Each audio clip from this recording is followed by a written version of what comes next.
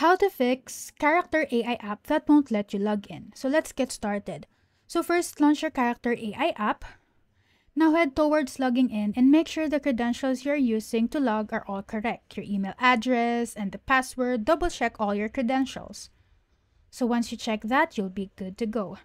Next up, update the app to status version. And for that, launch your App Store and then search for the app Character AI.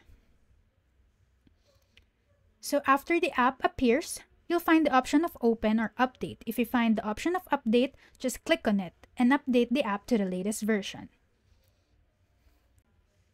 Next thing what you can do is try logging in using a web browser. So go to their official website. So try clicking the login there in the upper right corner and try to provide all the credentials that is needed to for you to log in. So if that doesn't still work for you, you can uninstall the app by clicking the delete app,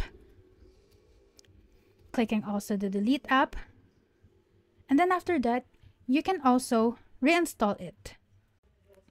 And that's how to fix Character AI app that won't let you log in. If you have any questions, leave us a comment down below.